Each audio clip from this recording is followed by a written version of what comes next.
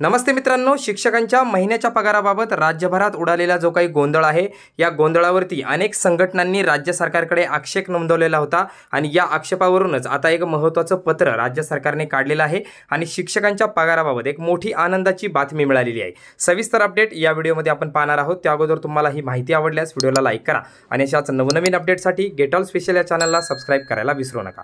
चला पाहूया सविस्तर. शिक्षण आयुक्तालय यांचं कार्यालय महाराष्ट्र शासन दिनांक वीस जानेवारी दोन हजार तेवीसचं हे पत्र.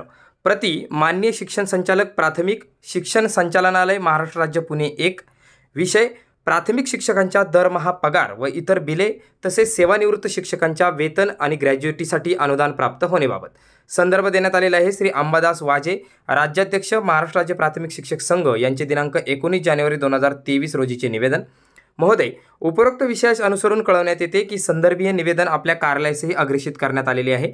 सदर निवेदनामध्ये संघटनेकडून माहे नोव्हेंबर दोन हजार पासूनची नियमित थकीत वैद्यकीय देयके तसेच इतर थकीत देयकासाठी अनुदान प्राप्त न झाल्यामुळे शिक्षकांमध्ये तीव्र संताप व नाराजी झाली असल्याबाबत तसेच नियमित देयकासाठी वितरित केलेले अनुदान अन्य देयके पारित करण्यासाठी वापरली जात असल्याबाबत नमूद करण्यात आले आहे.